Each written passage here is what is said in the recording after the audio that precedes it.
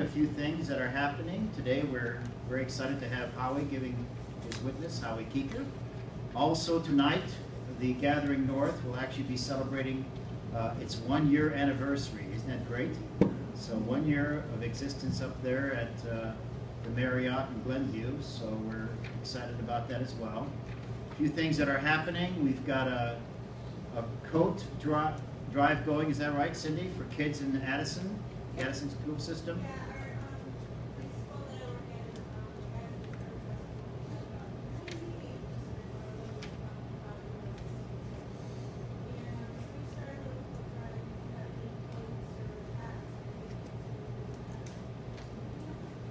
Okay, and we're probably going to continue that through December 14th, 21st, or whatever at the latest.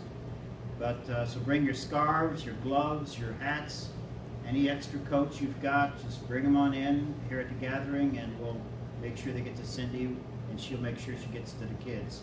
We also got, uh, oh yeah, it's, it's for kids, yeah. Yeah, to be honest with you, most coats are going to fit. Just bring coats in, yeah. Some fifth graders are pretty good size. Uh, we got uh, a toy drive going on. Is that right, Annalise? I can see a bunch of toys back there already. So that's going to be through uh, December 14th. And next Sunday, uh, Anne Marie from Love Christian Clearinghouse is going to come and just say a few words about where the toys go that Annalise and her family are collecting. So thanks, guys. So make sure you take them all home because I can't, all right? We also are very excited to have an Advent Soup Supper study, and uh, Victoria is going to talk about the Advent Soup Supper study. It's Advent and it's a soup supper study. Soup Supper study. Um, there's a SSS.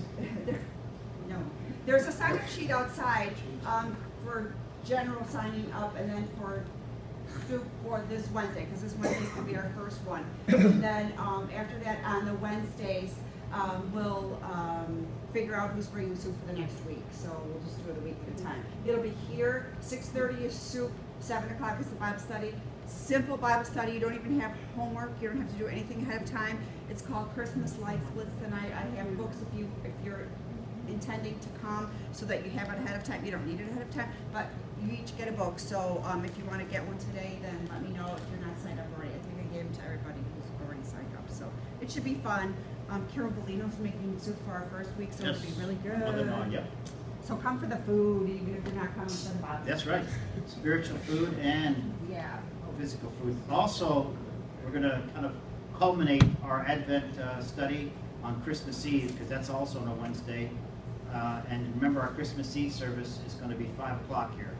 It's not 11 o'clock, but 5 o'clock. So hopefully that'll work into your schedule. I know Christmas Eve is difficult to uh, meet everybody's schedules. Uh, Sue, you want to say a few words? Good morning. Good morning. I want to let you know that the gathering has generously bought movies for our youth. And we had a youth overnighter. Uh, a couple weeks ago we had talked about it. Well, these were some of the movies that we purchased, and I want to let you know they're here for you to watch. All you have to do is get a hold of me on a Sunday or call me, and I'm going to be like the movie librarian, even though I only have two right now. but it's so much less money to do it this way for our kids than it is to take them all to the show, as we found out the hard way last year. Yeah. So anyways, I opened these all up to you. Uh, we have Heaven is for Real. It's about a little boy who passes and has a. God experience and shares it with everybody when he comes back. And one of my favorites is God's Not Oh, Dead. About a college professor that is not really into God. And uh, he challenges one of his students to prove it to him. And so they're, they're wonderful to watch. Let me know. The other thing is, I know everybody's always looking for something to donate their time with around the holidays. What I would like, my wish this year, is for you to donate your time reading the Bible to Ray Beebe. Whether it's going in the morning, around 9 o'clock in the morning before he does his therapy, or later in the evening after dinner, or even if it's just a phone call. He really, really needs to hear the word. And I really believe that will strengthen him and, and bolster him up. So you don't need a sign-up sheet, but I really encourage you to contact him the day before. Make sure you can find out what um, his hours are, what's convenient for him. But I just know he would absolutely love, love, love to hear the word of God as often as we can do it. So thank you. Uh, Kathy, you still have the prayer calendar for Ray? I didn't bring it today, but I Okay. can bring it next week. Yeah, make sure you bring the prayer calendar so we can keep Ray in our prayers, and everybody signs up a particular day. And our Facebook challenge worked out. Last Okay. week, uh, I brought some stats. So last week I, I commented to you guys that we have um, people following us on Facebook. So we have a page called, you know, the Gathering for Christ. Um, and so those of you who are on Facebook, probably once in a while see it in your feed. And I asked you that if you see it, to please just click the like button because every time you click the like button, Facebook then sends it to more people. And so we currently have 122 followers on that page, of which two are new this week. So we had two brand new followers this week. So these are just some stats. Our reach was 80, which is up 142% over the week before. Our post reach was 69, which is up 263% over the week prior. And our the service post, which is the recording of this service, um, so I know I told you guys last time that on November 16th service was only shared to 17 people total. Okay, so last week I said, please, if you see it, click it. Okay, it went out to 56 people this time um, instead. So that made a huge difference. If 56 people got to see it instead of only 17. So uh, keep clicking if you see things from the Gathering for Christ because you're just being a disciple and spreading the word. So yeah, yeah, keep we don't do much advertising, it's a word of mouth. You know, it's not all about the gathering, but it's not a bad idea to get the word out, you know, about what's happening here. So that's, that's good stuff. Use the modern technology. Is uh, Gail here?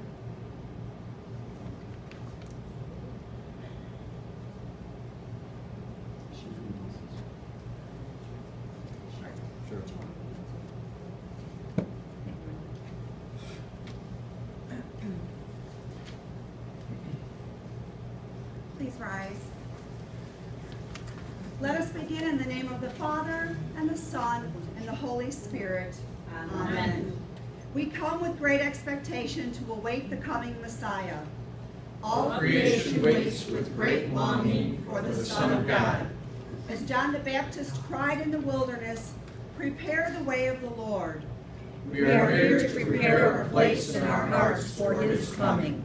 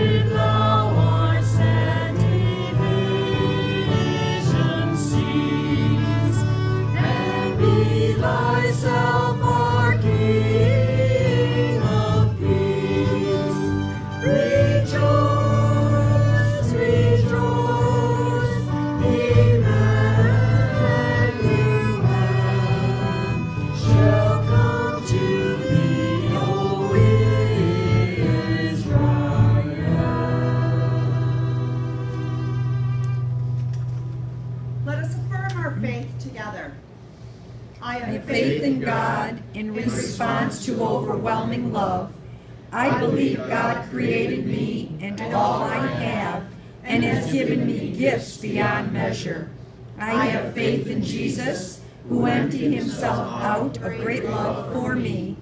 I believe Christ died on a cross for my sin, conquered death and the power of evil, and was raised to live on the third day. His death is mine, and his resurrection is mine. New life is a gift because of Jesus' words and work. I believe in the Holy Spirit in response to overwhelming love. I believe the Holy Spirit is present among us and lives within each person. The Holy Spirit calls people through the gospel and creates and builds the church of Christ. Through the power of the Spirit, I have the power to stand in strength against all adversity. I believe Jesus is preparing a place for me and will come again to take me to be with him. Amen. May the peace of the Lord be with you always. And also with you. Please share the peace with one another. Good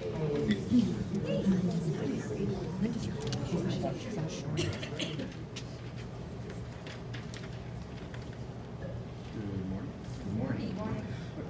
Uh, the first lesson is from Isaiah, chapter sixty-four, verses one through nine. Oh, that you would rend the heavens and come down, that the mountains would tremble before you. As when fire sets twigs ablaze and causes water to boil, come down to make your name known to your enemies and cause the nations to quake before you. For when you did awesome things that we did not expect, you came down, and the mountains trembled before you. Since ancient times, no one has heard, no ear has perceived, no eye has seen any God besides you, who acts on behalf of those who wait for him. Come to help to the help of those who gladly do right, who remember your ways. But when we continue to sin against them, you were angry. How then can we be saved? All of us have become like one who is unclean, and all our righteous acts are like filthy rags. We all shrivel up like a leaf, and like the wind our sins sweep us away.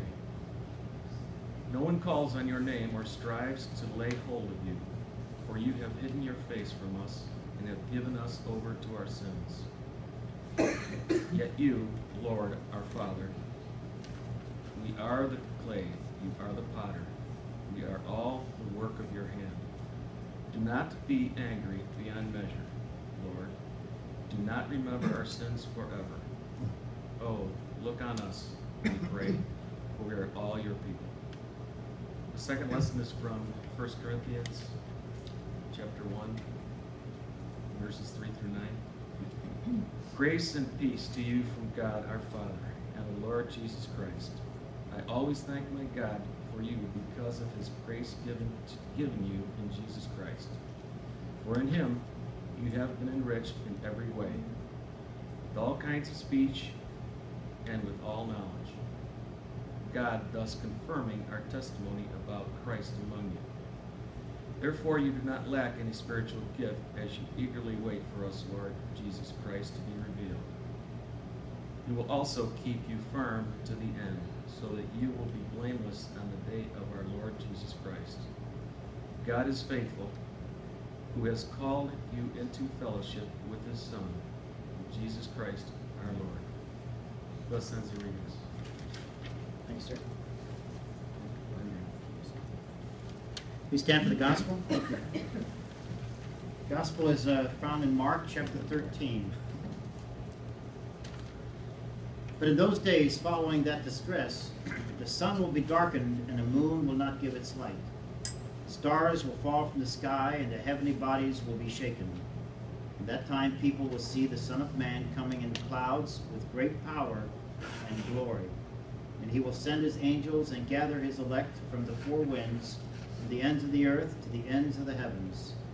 Now learn this lesson from the fig tree. As soon as its twigs get tender and its leaves come out, you know that summer is near. Even so, when you see these things happening, you know that it is near, right at the door. Truly I tell you, this generation will certainly not pass away until all these things have happened.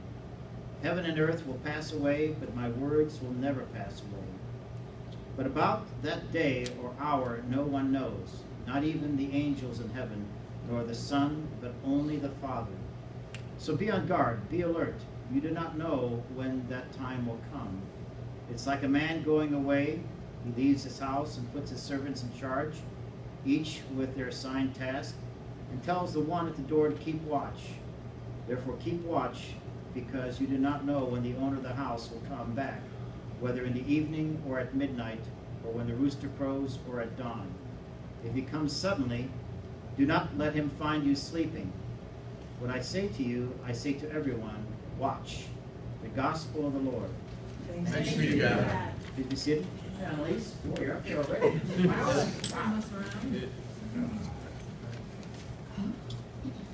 So how are things with you? I hear you won some, uh, some swim, swim uh, races not too long, well, last Sunday you won, is that right?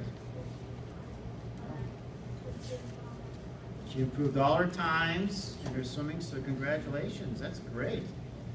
You know, like I've told you before, swimming is a great sport, so give me five. Yep. Well, today we lit a candle. See that candle? That's because we just started the Advent season. And Advent is a big word that means we're all preparing for who? Jesus, is that right? For the coming of Jesus Christ. And so we know that in December, on that special day, we're going to celebrate the birth of Jesus, isn't that right? And that's very exciting. So Advent is all these weeks before the birth of Jesus on December 25th when we prepare for Jesus to come into this world. But how do we prepare for Jesus to come into this world? Uh, What are some of the things we do to prepare for the coming of Jesus being born? Well, yeah, you can put your Christmas tree up. We also have presents, isn't that right? Because of you, there's going to be a lot of kids that are going to have presents that probably wouldn't get any, isn't that right? So we have presents, we have Christmas trees, we have, and we invite family, is that right? Yeah, elves on the shelves, is that right? Okay. But we invite family, and sometimes family comes in to visit. But what's more important is what do we do in here, in our hearts? How do we prepare for the coming of Jesus? What do we do? Jesus has to be born in our hearts, isn't that right? Okay, if he's born into this world and we don't allow him to be born in our hearts, it doesn't mean much, isn't that right? So it's very important for each one of us to make sure that when we celebrate the birth of Jesus, that we have asked Jesus to be born in our hearts. Why do you think it's so important for Jesus to be born in our hearts? Jesus loves us, and so therefore we can do what? Love him and love what? Other people. Okay? So that's how the love of God gets spread. Jesus is born in our hearts because he loves us. We love ourselves and then we love other people. So again, that's what Advent's all about. It's making sure that we know that Jesus is born in our hearts as we prepare for his coming. Okay? And I don't have any chocolate, but I did get you a cup of cookies, okay? Sorry about that. Thanks, Annalise. Sure.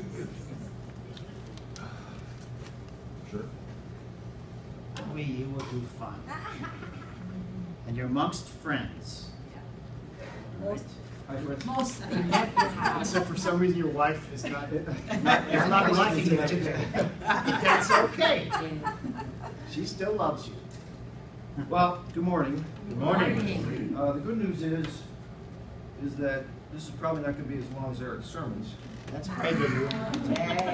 So, um, but anyway, when, um, when Eric asked me to do this, I wasn't sure what I would have to offer. But after praying and thinking about it, I thought of the Sunday that I was sitting in church, listening intently to Eric's sermon, when he looked directly at me and said, Howie, wake up. That's a big bag, what I just said. And used me as an example of someone whose life had changed because of God working in it. If that's not a sign that I need to share my story, I don't know what is. By the way, if I wasn't sleeping, I was meditating. Does anyone here think they can be perfect? That you can be perfect? I, I'm just the, Good. Somebody had a. I used it on her, so she's doing that. I started seeing my therapist again last year, and we were discussing some things, and she asked me an interesting question. She asked me if I thought I could be. I sat and thought about it for a while, and I said, yes, I think I can. She looked at me like I was crazy and said, you know, that's impossible and a huge burden to carry if you think you can do that. Growing up as I did, unchurched and living with constant disappointments, evictions, repossessions, embarrassment, thinking if you did nothing wrong and were perfect, everything would be okay became a way of life for me. I learned how to make up things that sounded better than the truth when questioned by friends about the things that were going on, and always thought that something would eventually go wrong, even when it seemed like everything was going to be okay. This is what I carried with me through my life, trying all kinds of ways to find happiness and a sense of peace. I think marrying Victoria helped put us both on the right path, but we still didn't have a clue what that path was supposed to be. My journey has been different than Victoria's, but I don't think either one of us would have had this journey at all if God had not put us on this path together. We got married at Christ the Redeemer Church. I was writing this and I had a blank and I couldn't remember the church I got married in. I had CTR. CTR. And I began attending, we began church attending regularly and getting involved. I played softball on the church team um, and helped with a building addition. I listened to the sermons even though I didn't really understand any of them. It wasn't anything about Pastor Stoyer. It was me not knowing what he was talking about. Um, I did what I thought I was supposed to do, and which, in hindsight, was really just going through the motions and trying to do the right thing. When we switched churches and started attending LCM, I again got involved, but a little more in depth this time because of Ray Beebe and Eric asked me to be a council representative on the finance committee. Go figure. I don't know why I said yes. Um, I guess they were very convincing. From there, I moved on to the president of council and was a mentor for seventh and eighth graders. I didn't realize at the time, but I must have had an impact on these young boys because one of them, when he got married years later, he asked me to do the prayer of his wedding. Um, what an honor and a blessing that was. I was growing and being open, more open and accepting to God working in my. I even started attending Saturday morning Bible study. I realized you didn't have to be a scholar to go to Bible study. But even after all these changes, there still seemed to be something missing. At the urging of Victoria, Larry Buckman, and Mark Schlichting, I decided to attend a renewal weekend called Christ His Parish. This is when everything changed. I was able to dump all the things I had been carrying around and I had with me and realize that God loves me and forgives me. That weekend cleansed me on the inside and made me realize there was a better way to live my life without guilt and shame and how to have a sense of peace that I couldn't do by myself or through all the earthly ways I was trying to do to achieve it. I was forgiven. Forgiveness is huge. God gave his son to die to forgive our sins. What could be more powerful than that? Not always easy for us humans, but it can change lives. I believe it has more power for the person being forgiven than the person doing the forgiving, just as it did for me. When I spoke at Brett's rehearsal dinner, I told them that forgiveness would be one of the most important things in their marriage. True forgiveness, like God's, where it's like if nothing happened and you can't throw it in the other person's face and get angry or whatever, um, whatever that might be. I would not have been able to give this advice without accepting God into my life on that renewal weekend. That weekend also showed me how powerful reconciliation can be. I certainly had some people I needed to reconcile with. I apologized to Victoria, Tim, Brett for my, these are my sons, for my flare-ups over the years and asked for their forgiveness and assured them I would strive to be better in the future. My relationship with them could not be stronger because I was willing to let the Holy Spirit work in my life. Unfortunately, you can't stay on this renewal weekend where it's safe and everyone cares about you and is a believer. You have to go back in the real world, which is scary. How am I going to use what I learned? How am I going to change? What will people say and think? Do I really want to take this risk? So I did make some changes because I wasn't carrying all that stuff around with me. The peace I felt internally was externalized. My temper went away. I was more tolerant of other people than I hadn't been tolerant before. I used to be pretty rude to people I thought I didn't like, even though I didn't even get a chance to know them. Victoria would say, cool it, you're doing that again. Now I was trying to understand their story. I became more patient and less explosive. Over time, however, if you don't stay in touch with God, it is easy to drift back to your old ways. I was starting to do that. I was starting to hurry around again, try to do everything myself, when I got a wake-up call. I got in a car accident where I should have died. I was coming back from a party at my niece's daughter's house in Wisconsin. and I was on 894, heading home 60 miles an hour the speed limit in my 1999 Monte Carlo SS. Um, and I was next to a semi, and I started like having no control. I've never hydroplaned before, but and I've heard about it, but it can really happen. And I'm next to the semi, just kind of sliding, not being able to control the car, and the car starts going this way, and the semi's still going this way. And the front end of my car is underneath the semi. And the back tire of the semi hits the front right tire of my car, spins me out, and I do a 360, and I end up with my rear end up on a concrete barrier in the middle of the, the highway. And I came out of it with nothing. I'm not saying God caused the accident, but I certainly realized He was still there for me, even when I neglected Him, because through this process, it felt like there was extra seatbelts or something that was holding me in that seat and keeping me safe. So I got back on track. and I started attending BSF Bible Study, which is Bible Study Fellowship, at the urging of Tom Prickett. I started going every Monday night with Roy Herbst. Imagine 300 men in a church sanctuary on a Monday night during football season. Quite amazing. We broke into smaller groups of about 15 and did a very structured, in-depth Bible study. You go through one book each year. I went through the book of John, the book of Isaiah, which was a lesson today, and that was a tough one, and the book of Genesis. This is when the Bible started speaking to me. I could never relate to the parables or any of the scripture until these in-depth Bible studies. I stopped going to BSF, for various reasons, but I have continued to read my Bible every morning before I go to work. And I told Victoria the other day that I could have made a movie out of the passages I just had read. That's amazing that you can understand, I can understand it now, that that would be possible. Excuse me.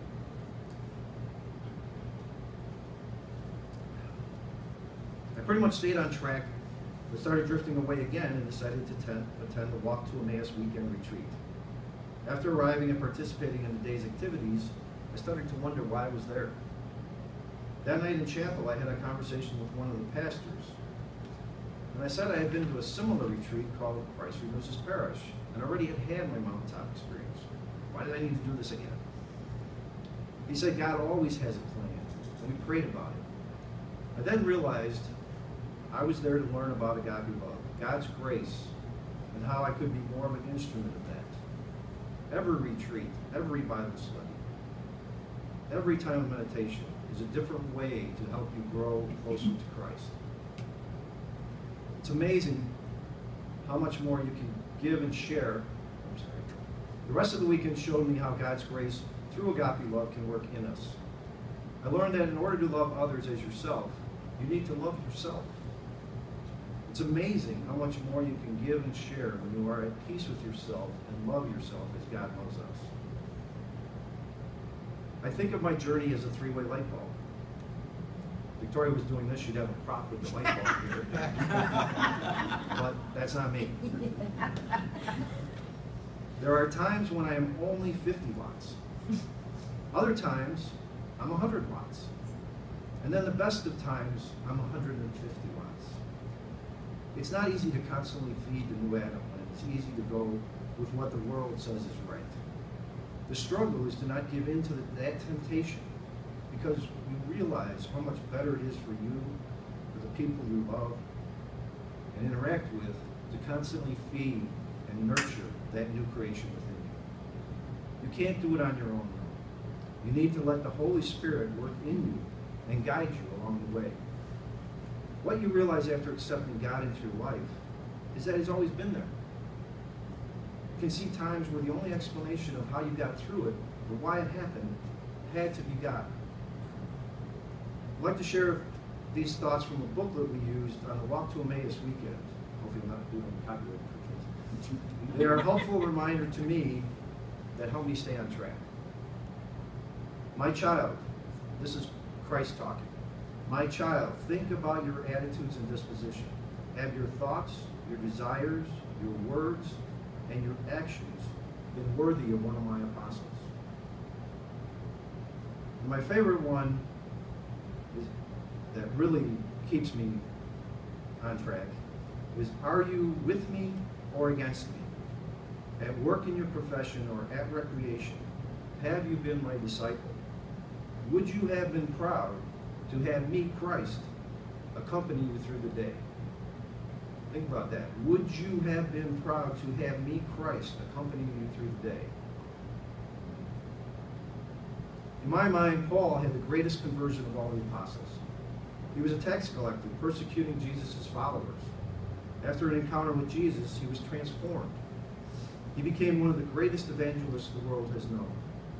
He dedicated his life to bringing people to Jesus. If Jesus can have this kind of effect on Paul, just think what he can do in your life if we just accept him. I have learned I am forgiven. I am loved unconditionally, and I have the power of the Holy Spirit working in me to help me become the new Adam God wants me to be. This has helped me in all areas of my life, whether I'm at work, at home, the bowling alley, on the golf course, or wherever the new I Adam shines through. The people who used to be afraid of me at work are now some of my best friends. I am a brother, father, mentor, and friend. This is just at work, in the real world. What a difference God has made in my life. Because I thought I could be perfect, my therapist had me do an exercise. I was to do something imperfect on purpose. Turn the wrong way, uh, you know, when you're driving, do something silly, things that didn't matter, and the world wouldn't end, and I thought it would if I did them. But the best one I did, I think, was I dropped an egg on the floor on purpose while I was making breakfast. I just dropped it. Broke on the floor, let it sit there. Walked around it, cooked my breakfast. And I thought it would drive me crazy because I know it would drive Eric crazy. you Cleaning it up.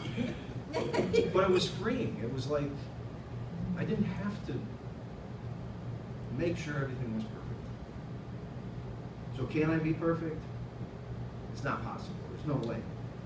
But I realize now it's okay not to be. With God's forgiveness, grace, and agape love, I can just be me. And that's enough. Thank you.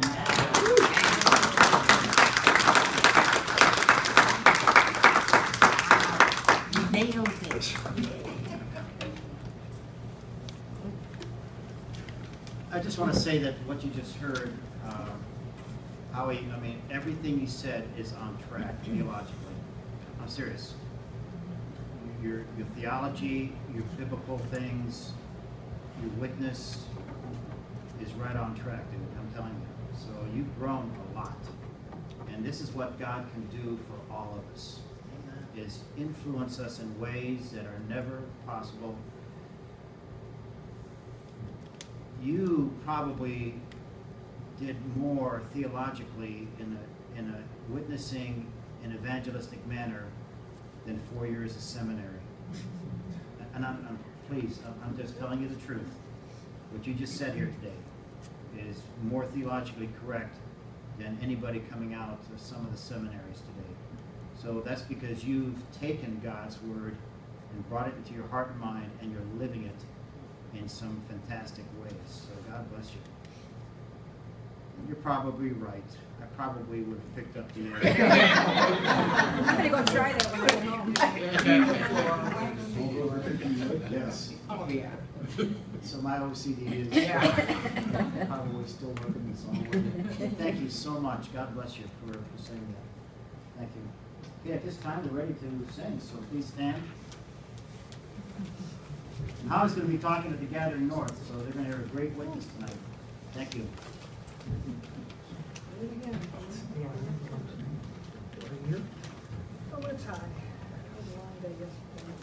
Oh,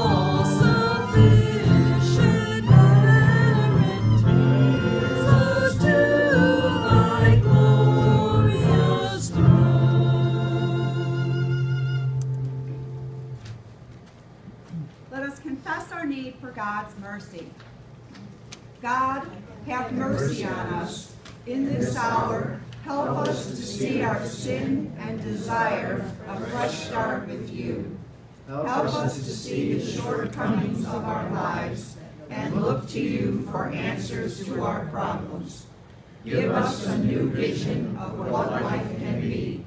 Teach us to hope, to love, to give, and to have faith.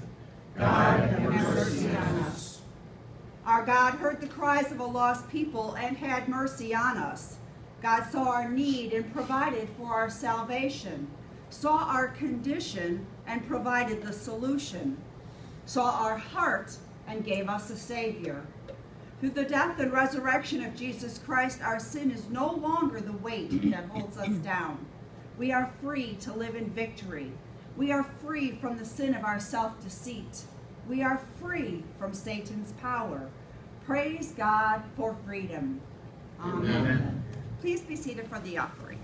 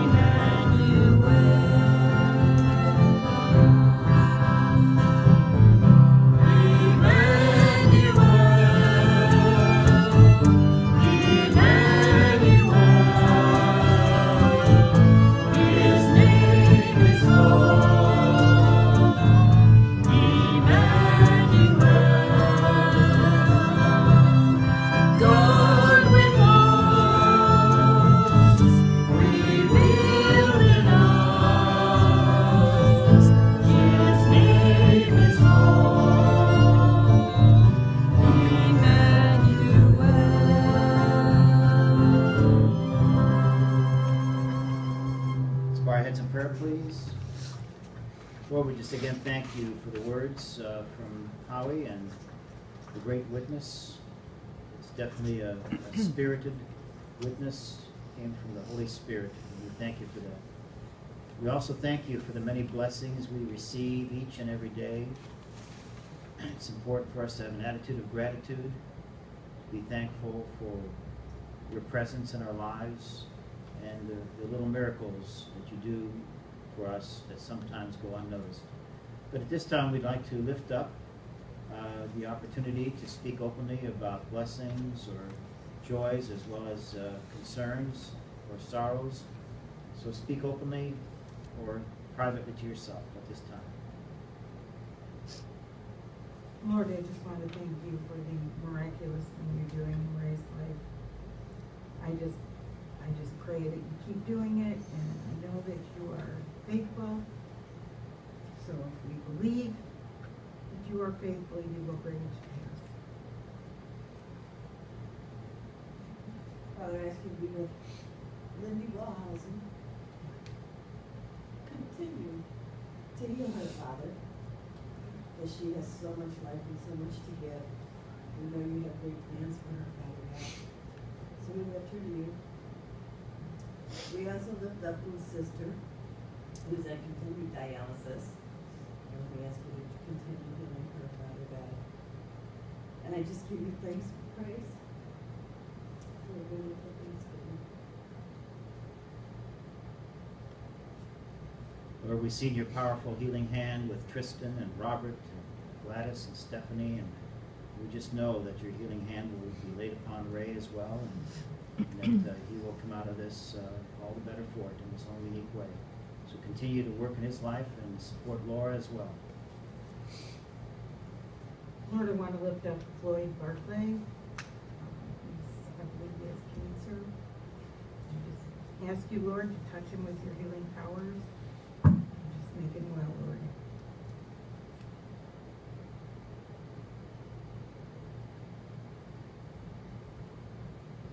Help us all, Lord, during this Advent season to turn our hearts to you, to really make that choice, uh, to make you Lord of our lives, uh, not just another Christmas season, but uh, if you need to sit on our throne of our hearts, now's the time to do it. It's not worth waiting any longer. We need to make that decision because you made a decision for us. We're just returning the favor in response to your love and grace.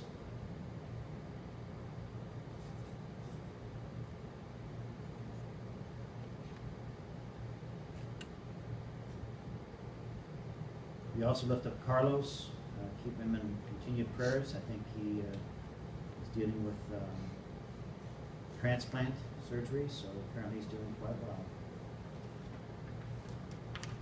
At the Gathering North tonight as they celebrate uh, one year of existence. And so we hope and pray, Lord, that uh, we continue on there as well.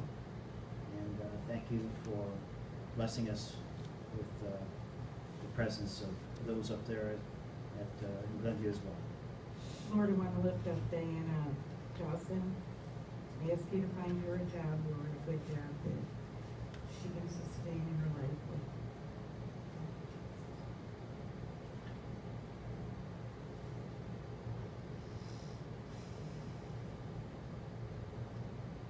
All these things we lift up in your most precious name. Amen. In the night in which he was betrayed, our Lord Jesus took bread and gave thanks. He broke it. He gave it to his disciples, saying, Take, eat. This is my body given for you.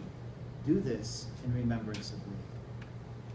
And again after supper, he took the cup, gave thanks, and gave it for all to drink, saying, This cup is the new covenant in my blood, shed for you and for all people, for the forgiveness of sin.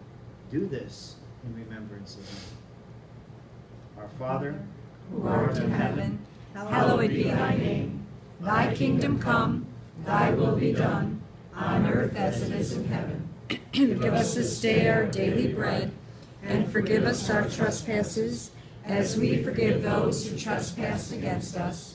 And lead us not into temptation, but deliver us from evil. For thine is the kingdom, and the power, and the glory, forever and ever. Amen. Please be seated and come forward at the usher's direction, please.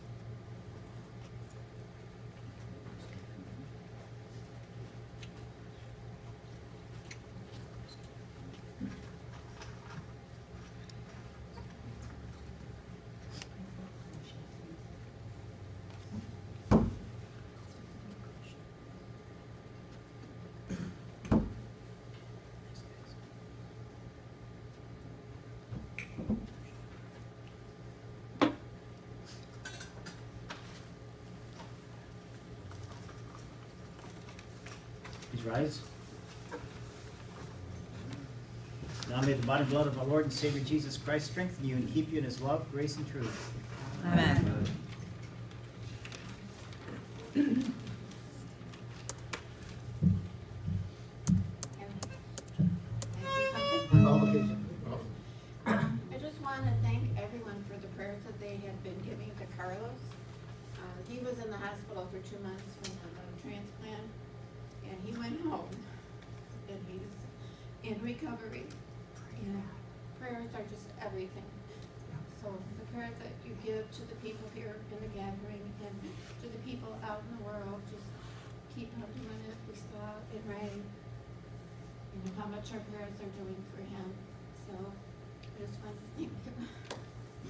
what activates the Holy Spirit. Remember that.